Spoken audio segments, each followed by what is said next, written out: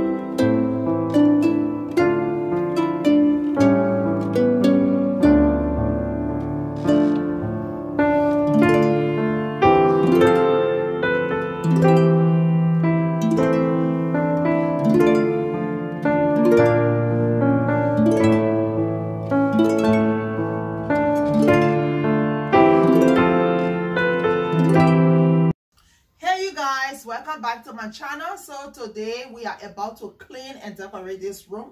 And today is sunday. As we all know wednesday is christmas. So i'm trying to juice our room up so we can have that christmas spirit and christmas feeling in this room. So our room as you can see we have this beige color paint on the wall. And the room is not too big so it used to look very dark. So what i did i painted the doors the closet the trim around the door, the baseboard, and I try to raise the curtain to create that illusion of us having a big, a large room. So now the room is looking brighter and even bigger. So that I just wanted to explain that to you guys. And I've already vacuum cleaned the room because I don't want the video to be too long because I have to wipe down everything in here because I haven't wiped it down for some time. So grab your coffee guys grab your snack let's get into the video